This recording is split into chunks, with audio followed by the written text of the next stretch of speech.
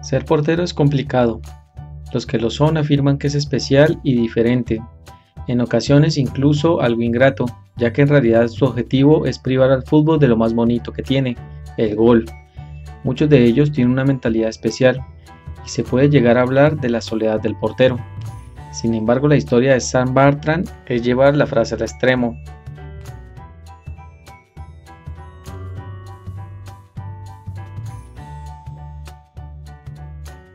Esta curiosa y divertida anécdota ocurrió en una fecha muy señalada, en Navidad de 1937. Aquella mañana amaneció nublado en Londres y en otros lugares de Inglaterra. Por eso muchos partidos fueron suspendidos. Sin embargo, en Stamford Bridge el encuentro entre Chelsea y Charlton dio comienzo y durante la primera parte del juego se pudo desarrollar con relativa normalidad. Al descanso el marcador era uno por uno pero en la reanudación la niebla hizo casi imposible el desarrollo del juego.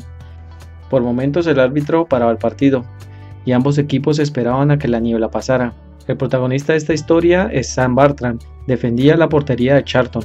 Aquella mañana, en ocasiones perdía la vista de sus compañeros y rivales, que de vez en cuando volvían a aparecer por su área. Sin embargo, pasó un largo tiempo en el que perdió de vista a todo el mundo, pero según contó en su autobiografía, él pensaba que dominaban por completo al rival pero el tiempo pasaba y por su zona no se acercaba nadie. En una ocasión el arquero se adelantó hasta el borde del área, pero no logró ver nada más allá de sus narices, por lo que regresó a su portería y siguió realizando ejercicios para mantenerse activo por si los delanteros del Chelsea aparecían de repente.